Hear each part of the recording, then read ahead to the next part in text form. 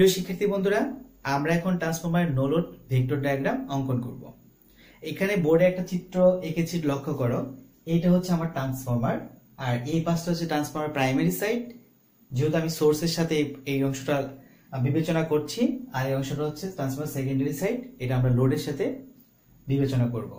এখন একটু লক্ষ্য করো, এই ট্রান্সফর্মার প্রাইমারি সাইডে যে ওয়াইন্ডিং এখানে একটা প্রাইমারি সাইডের ওয়াইন্ডিং এটা, আর এটা সেকেন্ডারি সাইডের ওয়াইন্ডিং বা প্যাচ আর কি, তারের প্যাচ প্রাইমারিতে যখন আমি ভোল্টেজ সাপ্লাই দিলাম প্রাইমারি ভোল্টেজ সাপ্লাইয়ের জন্য এই কয়েলের মধ্যে চুম্বকীয় একটা ফ্লাক্সের তৈরি হয়। সেই চুম্বকীয় ফ্লাক্সটা থেকে আমার মূলত কি? এই প্রাইমারিতে একটা ভোল্টেজ ইনডিউসড হবে, যার নাম হচ্ছে প্রাইমারি ইনডিউসড ভোল্টেজ আর সেই প্রাইমারি ইনডিউস ভোল্টেজটা বা প্রাইমারিতে যে পরিমাণ ফ্লাক্সের তৈরি হয়, সেই ফ্লাক্সটাই কিন্তু মিউচুয়াল ফ্লাক্স যেটা হ্যাঁ? সেটাই কিন্তু কোরের মধ্য দিয়ে সেকেন্ডারির সাথে সংশ্লিষ্ট হয়। এবং সেকেন্ডারিতেও কি করে? সেকেন্ডারি কয়েলের মধ্যেও ফ্লাক্স সংশ্লিষ্ট হওয়ার ফলে সেকেন্ডারি কয়েলের মধ্যে একটা ভোল্টেজ আবিষ্ট হবে, যার নাম হচ্ছে ইএস অর্থাৎ সেকেন্ডারিতে আবিষ্ট ইএমএফ এখন আমরা যে নোলোড ভোল্টেজ ডায়াগ্রামটা অঙ্কন করব, বা নোলোড ভেক্টর ডায়াগ্রাম অঙ্কন করব, সেক্ষেত্রে আমরা রেফারেন্স অক্ষ হিসেবে কাকে ধরব? একটা লক্ষ্য করো, এখানে ভিপি আর এই পাশে হচ্ছে ভিএস এইটা এবং এটা কিন্তু আলাদা বিষয়। এবং এখানে ইপি এখানে হচ্ছে ইএস এই দুটা কিন্তু আলাদা বিষয়। এখন তাহলে ভেক্টর, আমি আঁকতে চাইলে একটা রেফারেন্স অক্ষ ধরতে পারবে ভেক্টর ডায়াগ্রাম আঁকতে হলে একটা রেফারেন্স অ্যাক্সিস বা অক্ষ ধরতে হবে। রেফারেন্স অ্যাক্সিস আমি এমন একটা জিনিসকে ধরবো বা এমন একটা কম্পোনেন্টকে ধরবো যেটা দুইটার মধ্যেই কমন তাহলে দুইটার মধ্যে কমন কি থাকতে পারে বলতো হ্যাঁ দুইটার মধ্যেই কমন আছে চুম্বকীয় ফ্লাক্স তাই তো? কারণ আমার যে পরিমাণ ফ্লাক্স চুম্বকীয় ফ্লাক্স প্রাইমের সাথে সংশ্লিষ্ট হয়, সেটাই কিন্তু আমার কি কোরের মধ্য দিয়ে গিয়ে সেকেন্ডারিতে আমি পাই, তাই তো? তারপরে এই যে এখানে যে মিউচুয়াল ফ্লাক্স, এখানে সেই মিউচুয়াল ফ্লাক্স, একই ফ্লাক্স। আমরা কিন্তু পূর্বের ভিডিওতে এগুলো আলোচনা করেছি, তোমরা অবশ্যই দেখে নেবে পূর্বের ভিডিওটা। আচ্ছা তাহলে যেহেতু এই প্রাইমের দিকে যে মিউচুয়াল ফ্লাক্স, সেকেন্ডারি দিকে মিউচুয়াল ফ্লাক্স একই, সেক্ষেত্রে আমি এই ভেক্টর ডায়াগ্রাম অঙ্কন করার ক্ষেত্রে আমি রেফারেন্স অ্যাক্সিস বা রেফারেন্স অক্ষ হিসাবে আমি এই মিউচুয়াল ফ্লাক্সকেই ধরবো। শিক্ষার্থীরা, এটা হচ্ছে আমার রেফারেন্স অক্ষ আমি এখন ধরছি।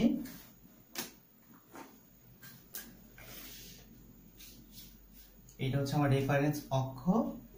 আর যাকে আমি রেফারেন্স অক্ষ হিসেবে কি ধরলাম এটাকে?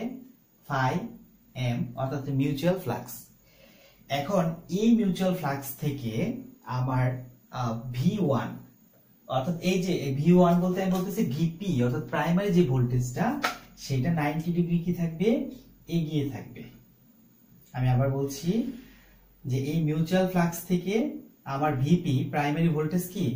নাইনটি ডিগ্রি এগিয়ে থাকবে। এইটা হচ্ছে আমার ভিপি প্রাইমারি ভোল্টেজ আচ্ছা এখন একটু জিনিস লক্ষ্য করো। এখানে মূলত আমি ভিপি এইদিকে দিলাম।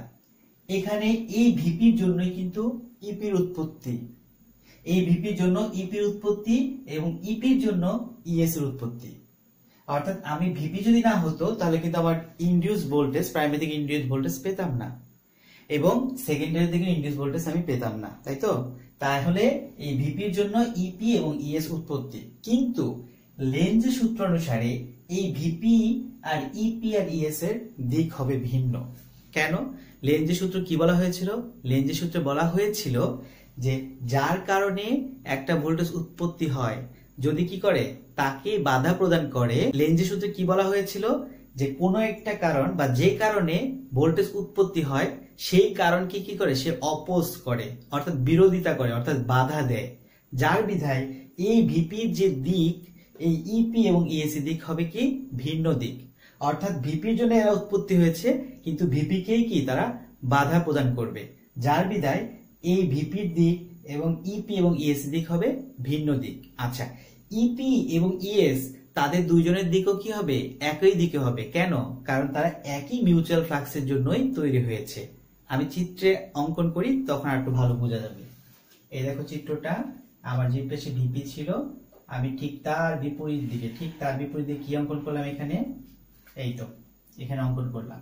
এখানে আমি এটা দেখলাম হচ্ছে ইপি আর এখান দিয়ে এটা দেখালাম হচ্ছে ইএস ভিপির জন্য উৎপত্তি হয়েছে ইপিইএস আর তাই ভিপির দিক ইপি এবং ইএসসি দিকের বিপরীত দিকে হচ্ছে। এখন দেখো, আমি এখানে লম্বা এঁকেছি, বড় এঁকেছি কাকে? ইপি কে। আচ্ছা আর এখানে ইএস কে একটু ছোট দেখিয়েছি। আচ্ছা এটার কারণটা হচ্ছে কি? এটার কারণ হচ্ছে আমি ধরে নিলাম, এটা একটা স্টেপ আপ ট্রান্সফর্মার ছিল। সরি স্টেপ ডাউন ট্রান্সফর্মার ছিল। স্টেপ ডাউন ট্রান্সফর্মারের মধ্যে কি ঘটবে?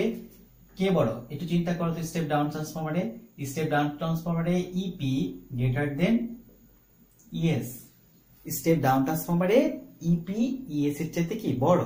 যার মধ্যে এই চিত্রে দেখো, আমি ইপি কে কিন্তু বড় দেখিয়েছি। আর ইএস কি কি? তার তুলনায় একটু ছোট দেখিয়েছি। আমি ধরে নিলাম এটা কি বলো? স্টেপ ডাউন ট্রান্সফর্মার তুমি যদি স্টেপ আপ ট্রান্সফর্মার করো, তাহলে কি হবে? এই ইএস টা নিচে চলে যাবে ইপিটা কি? উপরে চলে যাবে। আচ্ছা শিক্ষার্থীরা, এই ফাইভ এক্স থেকে ইপি বা ইএস কেন নাইনটি ডিগ্রি পিছিয়ে? অথবা এই ফাইভ এক্স থেকে এই ভিপির মান কেন নাইনটি ডিগ্রি এগিয়ে? সেই বিষয়টা জানার জন্য আমরা এখানে একটা ব্যাখ্যা দেখব। লক্ষ্য করো, আমি মনে করি যে কোনো মুহূর্তে তাৎক্ষণিক ফ্লাক্সের পরিমাণ ছিল five max sine omega t. আমি কি বললাম? যে কোনো মুহূর্তে বা তাৎক্ষণিক মুহূর্তে ফাইভ এক্সের মান ছিল কত? সরি ফাইভ এর মান ছিল কত? Five x sine omega t. Okay, এখন আমরা ফ্যারাডের ইলেকট্রোম্যাগনেটিক যে সূত্র, সেই সূত্র থেকে ভোল্টেজ বা ইএমএফ তার ফর্মুলাটা আমরা কি জানি? সেই ফর্মুলা জানি e equals to minus n d phi by d t এটা কিন্তু আমরা জানি যে ইলেকট্রোম্যাগনেটিকের ক্ষেত্রে উৎপন্ন ভোল্টেজের মান বা উৎপন্ন ভোল্টেজের সমীকরণ। আচ্ছা এটা ফ্যারাডের সূত্র। এখন এখান থেকে লক্ষ্য করো, আমি যদি মাইনাস দিই এন রাখলাম, আর ডি বাই ডি টি এখানে ফাই এই ফাই কি? এই ফাই কিন্তু এইটুকু। তাহলে আমি এই ফাইয়ের পরিবর্তে অংশটুকু বসিয়ে দেই, দেখো কি হয়। এটা হচ্ছে phi max sine omega t এখন মাইনাস এটাকে আমি যদি ডিফারেন্সিয়েশন করি মানে টি এর সাপেক্ষে টি এর সাপেক্ষে এই অংশটাকে যদি আমি ডিফারেন্সিয়েশন অর্থাৎ ডেরিভেটিভস করি, তাহলে মানটা কি দাঁড়াচ্ছে একটু লক্ষ্য করো। ফাইভ এক্সের কোনো পরিবর্তন নাই ফাইভ এক্স ঠিকই থাকবে। তাহলে সাইনের পরিবর্তে এটা হবে কি বলো? কস ওমেগা টি যেহেতু এইটুকু, ওই ওমেগা টি শুধু টি না তাই একে আরেকবার ডেরিভেটিভস করতে হবে। একে আরেকবার ডেরিভেটিভস যদি আমি করি, তাহলে এর মান পাবো টি আর টি চলে যাবে, তখন মান পাবো কি? ওমেগা তার মানে হচ্ছে এই five x five x sine omega টির মানে হচ্ছে কজ ওমেগা টি আর এখানে যেহেতু শুধু টি না ওমেগা টি তাই একে আরেকবার ডেরিভেটিভস করলাম। ডেরিভেট করার মধ্যে টিটা চলে গেল এখানে একটা ওমেগা রইল। তারপরে লাইনটা কি হবে একটু দেখো। Minus n omega five cos omega t এখন শিক্ষার্থী একটু লক্ষ্য করো, পরের লাইনটা কি হবে? পরের লাইনটা হচ্ছে, এখান থেকে এই টোটালটুকু এই টোটালটুকুর মান হচ্ছে ই ম্যাক্স টোটাল মান কি হবে? ই ম্যাক্স আচ্ছা আর এই কসটাকে আমি সাইনে রূপান্তর করব, তাহলে কি হবে? Sine omega t minus pi by two কারণ ছিল কস আমি যখন সেটাকে নাইনটি ডিগ্রি কি পেছনে নিয়ে নিব, তখন কিন্তু সেটাকে আমি কি করতে পারব বলতো? সেটাকে সাইনে রূপান্তর করতে আমি পারব। তার মানে কজ ওমেগা টি কে আমি যদি লিখতে চাই সাইন ফর্মে লিখতে চাই, তাহলে লিখতে পারব sine omega t minus pi by two শিক্ষার্থীরা, তাহলে আমরা এই ইকুয়েশন থেকে দেখতে পাচ্ছি আমার এই ই এর মান, সেটা ইপি হতে পারে অথবা ইএসি হোক না কেন, কোনো সমস্যা নেই। এই ই এর মান কি হবে? এই কত ডিগ্রি অর্থাৎ হচ্ছে আমার যে ফাই ফ্লাক্স, তার চেয়ে কি হচ্ছে বলতো? নাইনটি ডিগ্রি পিছিয়ে আছে, তাই না? আচ্ছা যার বিধায় এই ইকুয়েশন থেকে আমরা এটা দেখতে পারি যে ফাইভ এক্সের চাইতে কত ডিগ্রি? ইপি বা ইএস এর মানটা কি থাকবে? নাইনটি ডিগ্রি পিছিয়ে থাকবে, তাই তো? আচ্ছা এবার আসো, আমার মূলত হচ্ছে একটা নোলোড কারেন্টের যে দুইটা অংশ, সে অংশটা নিয়ে একটু আলোচনা করব। আমরা জানি নোলোড কন্ডিশনে কোন একটা ট্রান্সফরমারের মধ্য দিয়ে, অর্থাৎ ট্রান্সফরমার প্রাইমারিতে যে সামান্য পরিমাণ কারেন্ট আমরা পাই, আমরা জানি সেটা কত? দুই থেকে পাঁচ পার্সেন্ট সেই কারেন্টটুকুকে আমরা বলব নো লোড কারেন্ট এই নো লোড কারেন্টের দুইটা কম্পোনেন্ট অর্থাৎ দুইটা অংশ। নো লোড কারেন্টকে যদি আমি আই নট দ্বারা প্রকাশ করি, তার দুইটা অংশ হবে, একটা হচ্ছে আই ডব্লিউ আর একটা অংশ হচ্ছে আই মিউ এই যে আই ডব্লিউ তার নাম হচ্ছে ওয়ার্কিং কারেন্ট ওয়ার্কিং কারেন্ট। এবং এই নিচেরটা, এর নাম হচ্ছে ম্যাগনেটাইজিং কারেন্ট। Magnetizing current. এই ম্যাগনেটাইজিং কারেন্টের আরেক নাম কিন্তু, আরেকটা নাম দেখে এটা হচ্ছে ওয়াটলেস কারেন্ট। Wattles current. তো শিক্ষার্থীরা এই যে আমি বললাম হচ্ছে এই টু প্রথমটা কি ছিল এটা? এন ও মানে হচ্ছে কি? নো লোড কারেন্ট আর এই নো লোড কারেন্টের কয়টা অংশ দেখলাম আমি? দুইটা অংশ। এই লোড কারেন্টের দুইটা কম্পোনেন্ট একটা হচ্ছে ওয়ার্কিং কারেন্ট আর একটা হচ্ছে ম্যাগনেটাইজিং কারেন্ট বা ওয়াটলেস কারেন্ট আচ্ছা এখন কোনটার কাজ কেটে শোনো? এই যে ম্যাগনেটাইজিং কারেন্ট এই ম্যাগনেটাইজিং কারেন্টের কাজই হচ্ছে চুম্বকীয় ফ্লাক্স তৈরি করা। এই ম্যাগনেটাইজিং কারেন্টের কাজ কি হবে? এই ভোল্টেজ থেকে নাইনটি ডিগ্রি পিছিয়ে থেকে এই ট্রান্সফরমারের কোরের মধ্যে বা কোরের মধ্যে বলতে কয়েলের মধ্যে চুম্বকীয় ফ্লাক্সের তৈরি করা।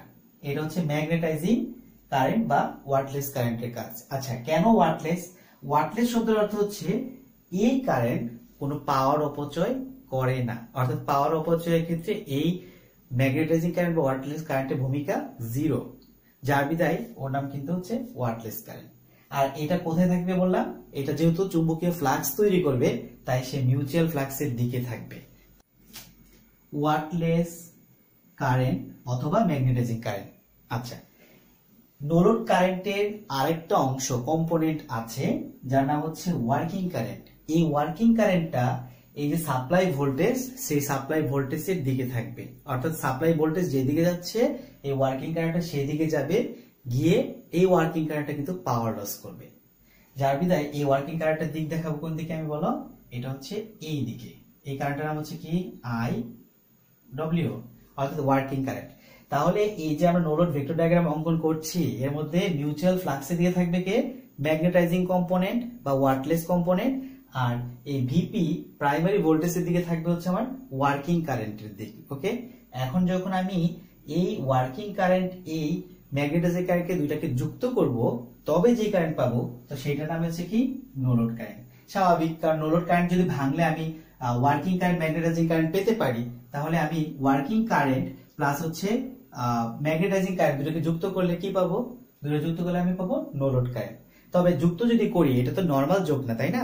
যে আমি ডাইরেক্ট যোগ করে দিব, এটা হচ্ছে একটা ভেক্টরিক্যাল যোগ। লক্ষ্য করো, আমরা এটা ভেক্টরের সাহায্যে কীভাবে যুক্ত করতে পারি? আমি যদি এটাকে এদিক থেকে টানি উপর দিকে কিছুটা।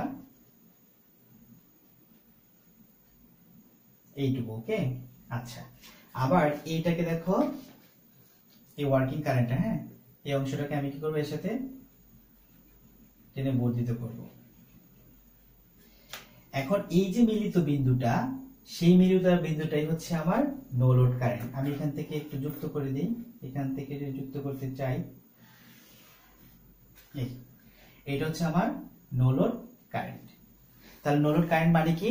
ম্যাগনেটাইজিং কারেন্ট এবং ওয়ার্কিং কারেন্টের ভেক্টরিক্যাল যোগই হচ্ছে আমার নোলোড কারেন্ট। আচ্ছা এখন দেখো, এই যে এই অংশটা অর্থাৎ ভিপি ভিপি এর সাথে এই নোলোড কারেন্টটা থিটা ডিগ্রি কোণে পিছিয়ে থাকবে। যেহেতু এটা নোলোড, তাই এর কোণটা হচ্ছে থিটা নট। ওকে? শিক্ষার্থীরা, এটাই হচ্ছে আমার একটা নো লোড ভেক্টর ডায়াগ্রাম অর্থাৎ ট্রান্সফর্মার নো লোড কন্ডিশনে ভেক্টর ডায়াগ্রাম দেখতে কিন্তু এরকম দেখাবে। আচ্ছা এইখান থেকে কিন্তু আমি কয়েকটা সূত্র ডেভেলপ করতে পারি, আমাদের ম্যাথমেটিক্যাল টার্ম পরবর্তীতে যখন করব, তার প্রয়োজন পড়বে। প্রথমে আসো আমি ওয়ার্কিং কারেন্টের ফর্মুলাটা কি সেটা দেখব। আচ্ছা এইটাকে ধরো, এটা হচ্ছে ভূমি, আর এটা ধরো হচ্ছে অতিভুজ। আর এই যে ভূমির সাথে সবসময় কি হবে? কোনটা তৈরি হবে। যেহেতু আমার এই যে নো লোড যে অ্যাঙ্গেলটা সেটা যেহেতু এখানে তৈরি হয়েছে তাই আমি ধরে নিলাম এই অংশটা হচ্ছে ভূমি।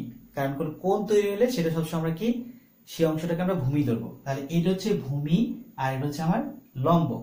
প্রথমে আসো, আমি যদি কি করতে চাই, এই ওয়ার্কিং কারেন্টের ফর্মুলাটা বের করতে চাই, তাহলে আমরা জানি একটা বলের, আমরা যখন বল বিশ্লেষণ শিখেছি অ্যাপ্লাইড মেকানিক্স বা ইঞ্জিনিয়ারিং মেকানিক্স সাবজেক্টে তখন আমরা শিখেছি যে একটা বলের দুইটা উপাংশ থাকে। একটা আনুভূমিক উপাংশ আর একটা কি? উলম্ব উপাংশ। তুমি ধরে নাও আয়নট হচ্ছে একটা বল। তাহলে এই আয়ন যদি বল থাকে, তাহলে এ অংশটা হচ্ছে আনুভূমিক উপাংশ। অর্থাৎ আই ডব্লিউ হচ্ছে আনুভূমিক উপাংশ, আর আই মিউ হচ্ছে আমার কি? এখানে একটা উলম্ব উপাংশ। আচ্ছা এখন আর ভূমির সাথে কোন একটা বল যদি আমি চিন্তা করি, তখন সেটাকে আমি কস থিটা দ্বারা প্রকাশ করব। আর লম্বের সাথে কোন একটা বল যদি চিন্তা করি, তখন আমি এটাকে সাইন থিটা দ্বারা প্রকাশ করব। তার মানে এই আই নট কারেন্টের দুইটা অংশ, একটা আই ডব্লিউ একটা আই মিউ প্রথমে আমি আই ডব্লিউ মান বের করছি। তাহলে যদি ওয়ার্কিং কারেন্টের ফর্মুলা লিখি, তাহলে আমি কি পাবো? ওয়ার্কিং কারেন্ট ফর্মুলা হচ্ছে টোটাল কারেন্ট অর্থাৎ হচ্ছে আই নট আই নট মানে কি? No load current I naught cos theta naught এটা হচ্ছে আমার ওয়ার্কিং কারেন্টের ফর্মুলা অনুরূপ ভাবে আমি কিন্তু ম্যাগনেটাইজিং কারেন্টের ফর্মুলা বের করতে পারি। আর ম্যাগনেট এটা যেহেতু ভূমির সাথে ছিল, তাই এটা হচ্ছে কস থিটা আর এটাকে আমি লম্ব ধরবো। এটা ধরো ভূমি, আর এটা হচ্ছে তার লম্ব। লম্ব হলে সেটা সাইন দিয়ে প্রকাশ করতে হয়। আমি এটা প্রকাশ করব হচ্ছে I naught sine theta naught তাহলে এটা হচ্ছে ওয়ার্কিং কারেন্টের ফর্মুলা এই চিত্র থেকে আমরা পেলাম। আর এটা হচ্ছে আমার ম্যাগনেটাইজিং কারেন্টের ফর্মুলা এই চিত্র থেকে আমরা পেলাম। এখন আমি যদি কি বের করতে চাই? নো লোড কারেন্ট বের করতে চাই। কি বের করতে চাই? নো লোড কারেন্ট আমরা তো জানি যে নো লোড কারেন্ট মানেই হচ্ছে ম্যাগনেটাইজিং কারেন্ট আর ওয়ার্কিং কারেন্টের সমষ্টি। তাহলে আমি বলতে পারি no load equals to I no load তার কারেন্টের ফর্মুলা ফর্মুলাটা কি হবে? Root over I W square plus I magnetising square এটা হচ্ছে আমার আই নটের ফর্মুলা তাহলে আমি চিত্র থেকে কি পেলাম? চিত্র থেকে পেলাম আমি আই নটের ফর্মুলা এই যে এটা অর্থাৎ এইটা এবং এটা যোগ করলে হবে। তাহলে এইটা এবং এটার মান আমার জানা দরকার। এখন আমি যদি এই মানটা জানতে চাই, অর্থাৎ ওয়ার্কিং কারেন্টের মান জানতে চাই, তার মান হচ্ছে I naught cos theta naught আর যদি আমি ম্যাগনেটাইজিং কারেন্টের মান জানতে চাই, তার সূত্র হচ্ছে I naught sine theta naught আর দুটো যুক্ত করার ফলে আমি পাচ্ছি হচ্ছে আই নট শিক্ষার্থীরা, ধন্যবাদ সবাই